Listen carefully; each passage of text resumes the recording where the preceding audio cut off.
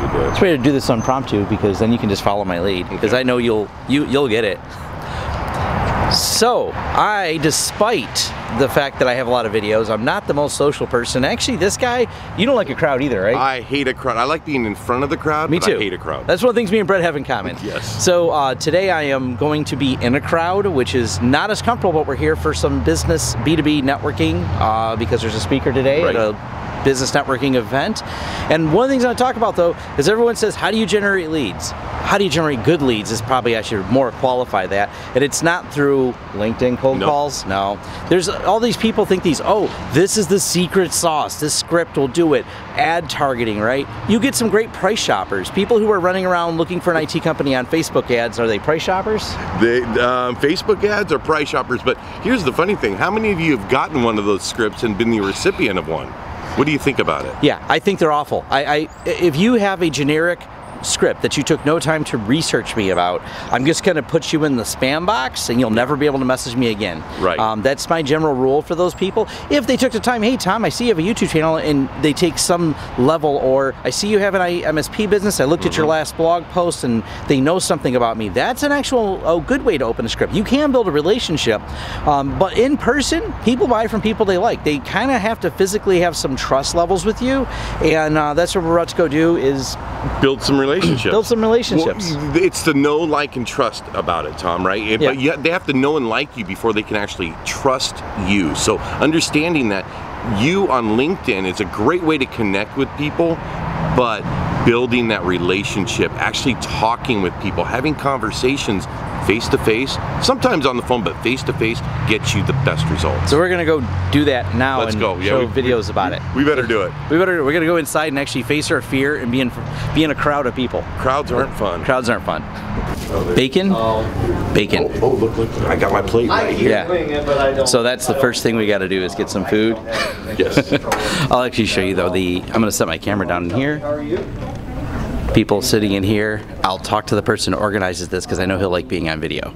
Uh, we'll cut here. You have to sit in the front row, and the reason why is because that's so you can, you know, be the center of attention and face your fear of being uncomfortable.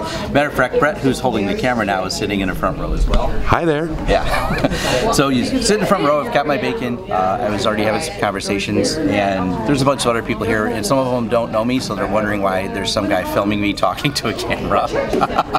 That's gonna be the first question, right? So the yeah. So uh, we'll get we'll get to that in a second. I'll find some people that don't mind being on camera.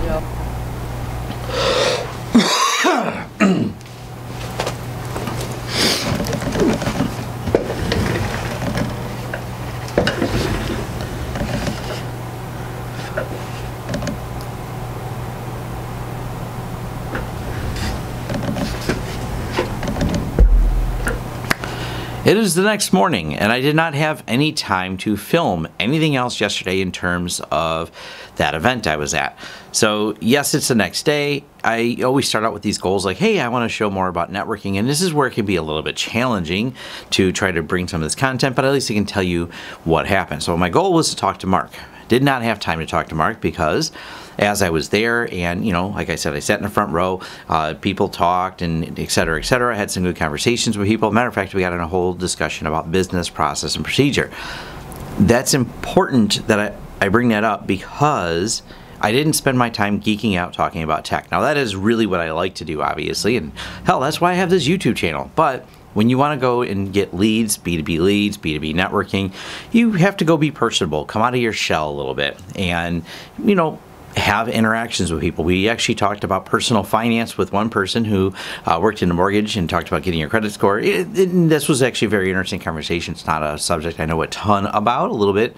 You know, I've got a good credit score, but having these personal conversations, and from that, I didn't run around handing out cards to people. I don't like to be that person who runs around and just dishes out the cards, you know, like you're dealing a poker uh, game. That's just not my style. And I, a lot of people are very turned off about that. I will tell you, they take the card and they go, well, I, I don't know why he gave me his card. I don't know anything about the person or why I should even interact with them. But because I had a few people who, you know, you they know what I do, they know I do technology. We landed a very good potential deal, which I sent an email on. I crossed my fingers. I got to do some follow up on that. Um, another person with a mortgage company needs some small office support, so smaller deal. But hey, uh, good potential there. And the other thing that came out of this, and this is why I didn't have any more time to film, was I got a message on Facebook. Now, yes, Facebook, you can convert leads. And I said that at the very beginning of the video that you don't get good leads, but that's because I wasn't using Facebook ads. I got a message. So one of the things I've tried to curate on Facebook is having a good circle of people that I follow uh, or become friends with. And many of them own businesses. And a particular person that I have been friends with for a couple years. They've seen my posts several times about wiring and things like that. Now, this is not an ad. This is not some advertisement he'd seen for it, but because he was looking, he said, Hey, um, I've seen you post about wiring. You guys do office wiring, building, blah, blah, blah. And by the way, one of the things about my personal Facebook, yes, it's public facing. You won't find a bunch of political crap on there. You won't find me arguing with people over things like that. You will find me discussing what we do, maybe in an interesting way, sharing a video about how we do some wiring, cabling, that's what drew interest. But that was kind of a fun, you know, I was at the event. I was talking to a couple people, and almost as soon as I was talking, someone says, "Hey, uh, would you like to come bid this? I see you do some wiring. Uh, would you like to come bid my office?" So I'm like, "Well, sure." And they don't have a dedicated IT staff, or they don't know anyone who does wiring, but they're a successful company and uh, they're growing quite fast, and they've realized they need a little bit more technology. So I happen to be uh, two miles from where I was at at the event. So they said, how soon you be here? I said, I could be there in like, you know, 15, 20 minutes, which cut things a little bit short in terms of uh, my plans for filming at that event. But went over there, uh, ended up shaking hands right away on a, on a rough estimate. I got to send over the formal estimate. This is back in the morning. It's something I have to do now because from there I went to several other events and then I kind of forgot there was even a camera in my car, so I didn't really film any of those other events. But they also were less worth filming.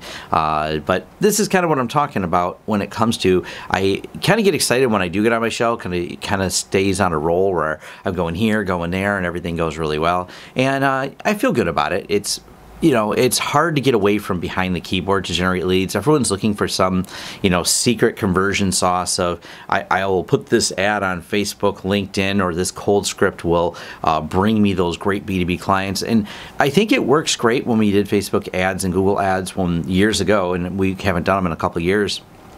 Uh, but we were doing them to gather retail clients when we did the retail store and we're really pushing towards it. We've watched the margins on a retail go down so low in this area that they weren't worth running ads for. It just wasn't the clientele we wanted, uh, so we kind of quit doing it. I've not found that it was ever good for the uh, B2B side because I just don't see, in case in point, the person who messaged me on Facebook, they weren't Googling, you know, wiring. That would have been a last ditch effort is starting to Google that. And we do get people who are price shoppers, and they're obviously not the ones you're really looking for, where they're spending their time trying to find the lowest bidder on everything. And we, that's not us, so I can tell you that right away.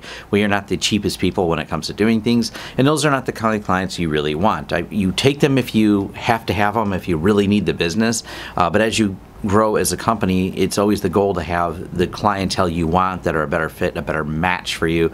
And uh, that B2B, that more personal touch uh, when you go out and network and leave yourself from behind a keyboard, go shake some hands is substantially better.